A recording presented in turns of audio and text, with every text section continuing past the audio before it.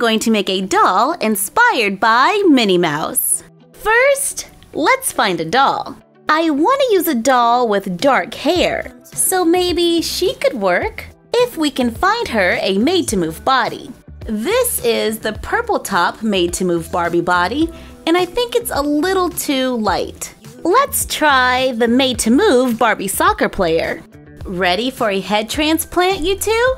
Say it with me. Off with their heads! There is definitely a color difference. It's crazy because in person it looks like it matches, but on camera it looks off just a little. I have an idea! We could use Wonder Woman! Oh, so we could make Gal Gadot the biggest Minnie Mouse fan ever! Sorry, but we're gonna have to do this one more time. Say it with me. Off with their heads.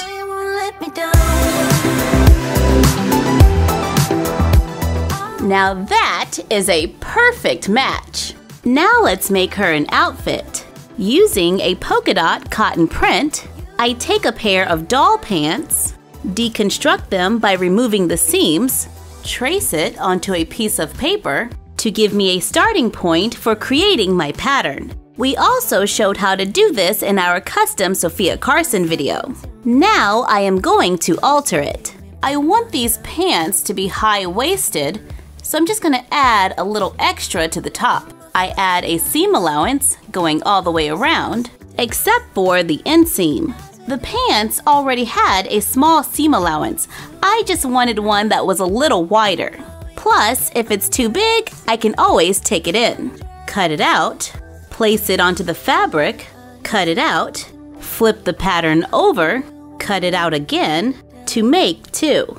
Stack them good side to good side, lining up the edges. Sew a straight line going around the curve and stop. You can sew this by hand or use a sewing machine. I'm using a sewing machine because it's a little faster.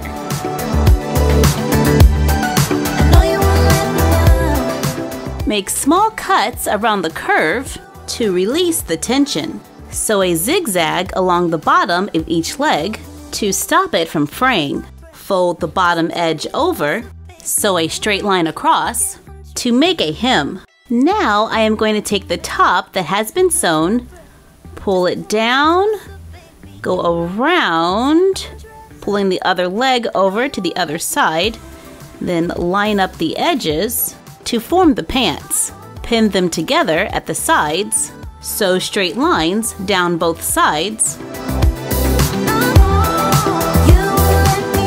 Try them on the doll using pins to keep it closed in the back where the Velcro is going to go. Pinch and mark where it needs to be taken in. I am making some tiny darts in the front. That's when you pinch a triangle shape in the material and sew at an angle to contour the fabric to the doll shape. I take them in on the doll's lower leg, sew on the line drawn, try it on the doll to make sure they fit, trim off the excess material, then finish the edges with a zigzag stitch. Fold over and hem the top, flip them right side out, cut a small piece of Velcro, pull it apart, sew the opposite sides onto the back of the pants so they can overlap to close. To make our doll a pair of high-waisted pants, I cut a rectangle of white fabric that can fit around the doll's torso and overlap in the back. Sew a zigzag around the edges to prevent it from fraying. Fold over and hem the long sides using a straight stitch.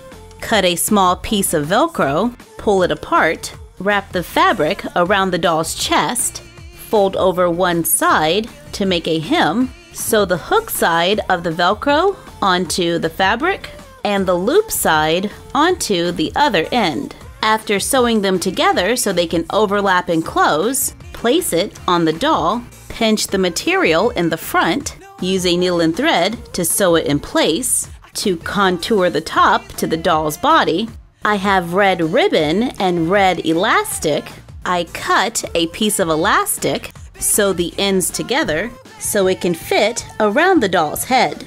Cut a piece of ribbon, fold over the ends, Wrap thread around the center to secure it, tie a knot, glue it onto the elastic, part the doll's hair, and use hair bands to create two high buns. So her hair looks like Minnie Mouse ears. Place the bow in front for a Minnie Mouse inspired look. Now let's add a few doll accessories like a pair of black heels, a silver heart necklace, a leather jacket, a black purse, a watch, and a pair of sunglasses to finish our Minnie Mouse inspired look. Gal is definitely Disney bounding here. I'm feeling some Grease vibes, but overall, I think the outfit came out pretty cute. I absolutely love her hair. And now our dolls can show their Minnie Mouse spirit with their fabsome look. And if you want the look for your dolls without the sewing, Barbie has several options to create the look. I found this fashion pack at Walmart. The leather jacket is cute, and that purse adds a nice touch to the outfit. We could switch out our polka dot pants for a red patent leather skirt. We found these for $2.50 each. The 250 patent leather skirt is similar to the one that comes in the fashion pack. However, this one has an elastic waistband and a waistband at the top and is not patent leather all the way around, but it still looks pretty cute on. This 250 skirt allows Minnie to rock her polka dots. These $5 accessory packs keep you in the red, white, and black theme, and this pack comes with the same sunglasses that we used for our doll. This accessory pack gives some cute purse options, a necklace, bracelet, black sunglasses, and a black cell phone. Hello? You want to cosplay at Disney World? Absolutely, I'm totally there. Giving our Minnie Mouse fangirl a larger wardrobe. Thank you for joining us. Show us your Minnie Mouse inspired dolls using hashtag MyFroggyStuffFanPics. Like, comment, share, and subscribe. Follow us on Instagram at MyFroggyStuff and The Frog Vlog. And you're done. Happy crafting!